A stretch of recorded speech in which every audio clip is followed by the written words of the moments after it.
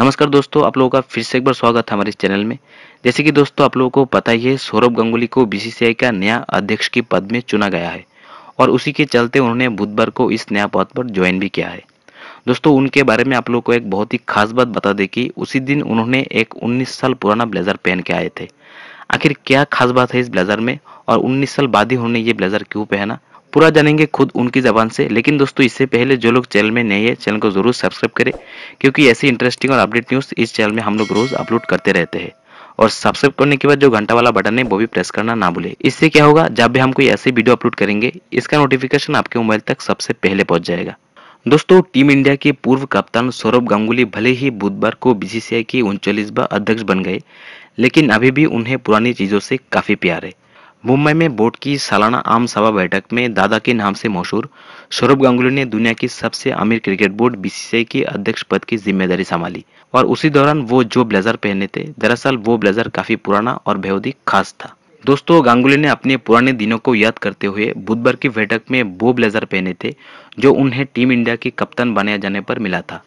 अध्यक्ष पद की कुर्सी संभालने के बाद जब मीडिया ने उनसे ब्लेजर को लेकर सवाल किया तो गांगुली ने बताया, मुझे ये ब्लेजर तब मिला था जब मैं भारतीय टीम का कप्तान नियुक्त हुआ था। इसलिए इस खास मौके पर मैंने इसे पहनने का फैसला किया। मगर मुझे ये एहसास नहीं हुआ की ये अब ढीला हो चुका है।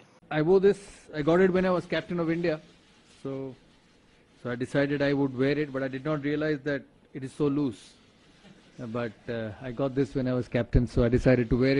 दोस्तों आप लोग को बता दें कि सौरभ गांगुली पाँच साल तक भारतीय कप्तान पद की ज़िम्मेदारी संभाली थी। मोहम्मद अजहरुद्दीन के बाद साल 2000 में गांगुली को भारतीय टीम का कप्तान बनाया गया था। बतौर कप्तान उन्होंने टीम को जीतना सिखाया और भारतीय टीम में उनका अहम योगदान भी रहा है। संन्यास के बाद शायद ही उन्हें ये ब्लेजर पहनने का मौका मिला होगा। मगर दोस्तों बीसीसीआई की अध्यक्ष पद की ज़िम्मेदारी संभालने के इस खास मौके पर दादा ने पुराने ब्लेजर को ही पहनना उचित समझा। दोस्तों, दादा के नाम से मशहूर सौरभ गांगुली दुनिया की सबसे अमीर क्रिकेट बोर्ड बीसीसीआई के अध्यक्ष पद संभालने के साथ ही सुप्रीम कोर्ट की निगरानी में बोर्ड का कामकाज देख रही प्रशासकों की समिति का कार्यकाल भी खत्म हो गया है।